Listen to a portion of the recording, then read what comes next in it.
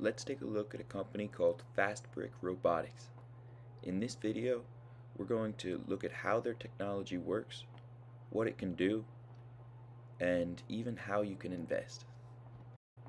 As always on this channel, the heart of their technology is implementing automation in construction. The concept is basically a boom or a long arm that's able to move the blocks from one place to their final resting place on the build. This is a very early model from when they were just testing the concept. Since then, they have made a lot of progress developing and improving this technology. The blocks are loaded on one pallet at a time, and then the machine is able to grab it from the pallet and basically put it on an assembly line. Anyone who's operated a large boom in the past will know that there's a lot of sway at the end of the device. We'll take a look at how they mitigate that in a minute.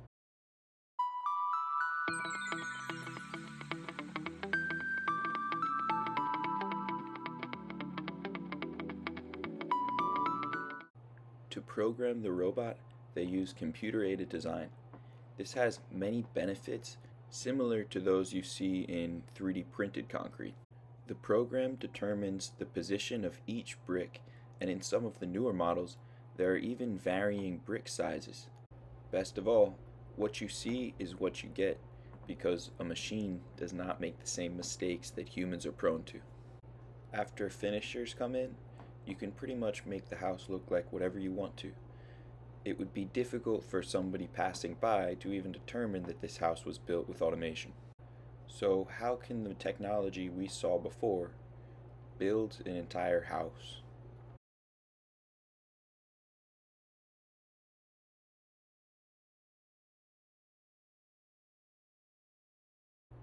Here's an early rendering of how they thought it may look. You can see it's almost like a crane, but instead of a typical telescoping boom, this one has an assembly line that grabs bricks from the inserted pallet and places them so that once it reaches the end of the boom, it'll be the right brick for the job.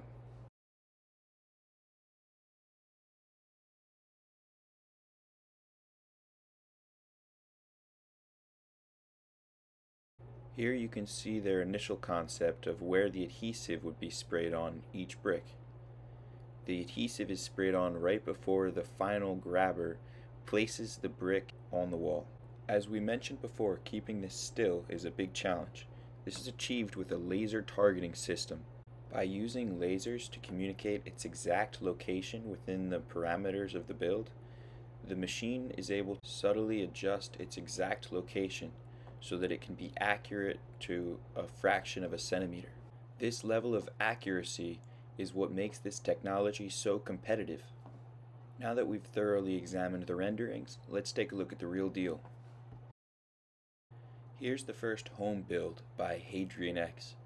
You can see for this one they're building inside a facility. When it comes to robotics, inside is always preferable because it's more predictable and controllable Outside, the robotics are exposed to the elements where all kinds of new issues can arise. You can see their boom is in two main units, one attached to the vehicle and the second is telescopic to be able to adjust its length. At the end of the telescopic section of the boom, there's the piece communicating with the lasers so that it can subtly adjust for any sway.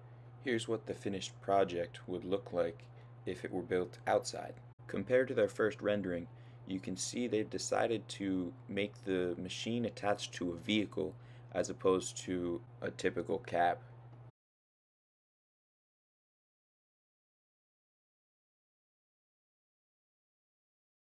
Now let's take the building outside. As you can see, the blocks are loaded on with just a regular pallet.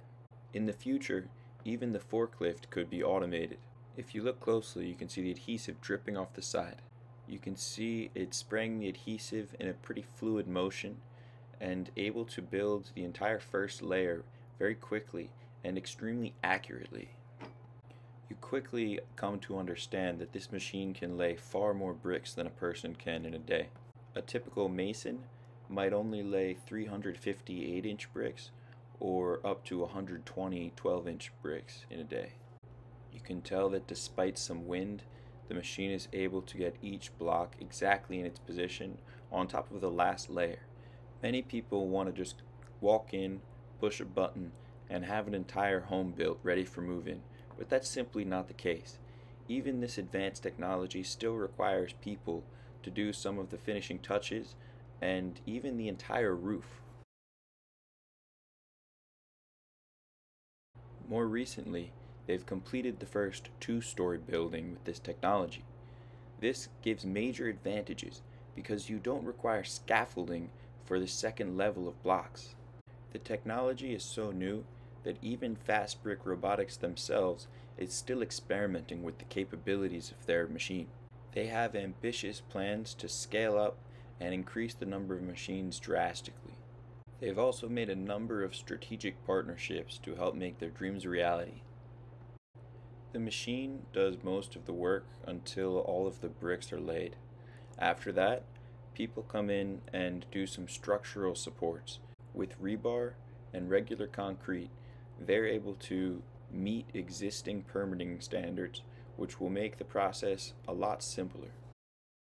It's easy to start thinking of all the possibilities this tech has to offer when looking at this cool project.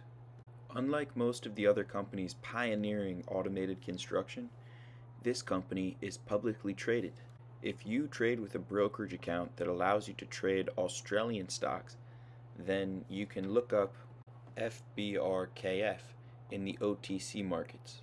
It's a small cap company, so the prices can be fairly volatile. It currently trades for a little over 3 cents per share. But if you look at the 5-year chart, you can see it used to trade for 25 cents a share. This channel is about automated construction, not the stock market.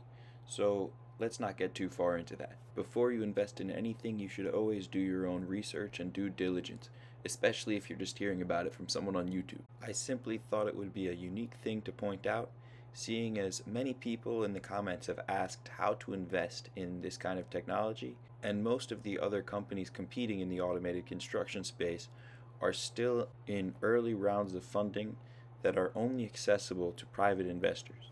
Now let's take a look at Hadrian X's latest form. You can see they have their own forklift now. They've also updated the way the adhesive is applied to each block. Instead of twisting it like before, the adhesive is sprayed on at the same time the block is grabbed by the arm that will place it. Here you can see them beginning progress on their first commercial project. Cinder blocks are very common in commercial real estate, and so it only makes sense that Fastbrick Robotics would seek to disrupt this section of the industry as well. If you enjoyed this video, make sure that you subscribe to my channel, and also go take a look at Fastbrick Robotics channel. I'll leave a link to that in the description below.